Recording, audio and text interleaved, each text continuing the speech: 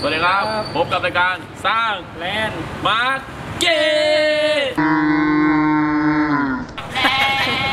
แล้ววันนี้เราอยู่กันที่ไหน อยู่ที่คณะสถาปัตยกรรมศาสตร์นะครับ อ่าม มหาวิทยาลัยนเรศวรอ่าอ๋อตรงนี้ก็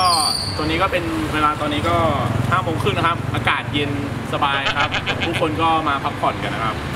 เออในรถแล้วเวลานิสิตที่เนี่ยเขากินอาหารเขากินอะไรแต่นี้เวลาบริเวณที่เขาไปกัน ก็ถ้าเห็นส่วนมากก็น้องปีใหม่ก็จะไปแถวพวกเอ็นยูสเปนอะไรอย่างเงี้ยอ่าน้องปีใหม่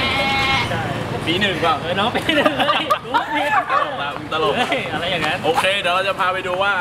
NU Square เขามีของกินอะไรที่ขึ้นชื่อและโด่งดังตามมานะครับอ่าไปแล้ว